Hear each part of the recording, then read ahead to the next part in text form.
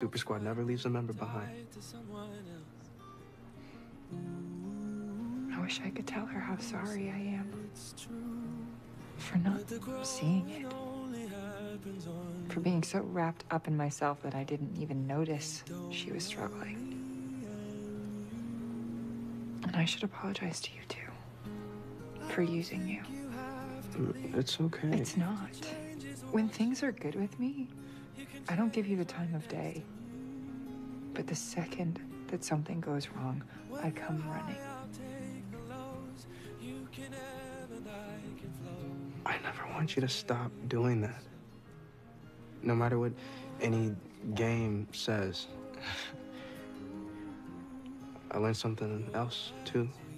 I can't crack the case unless I believe in myself. I can't sit back and play the sidekick. It's time I step up, for real. Like a superhero, you know?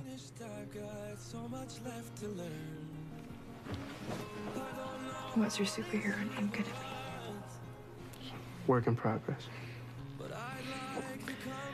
How about the comforter?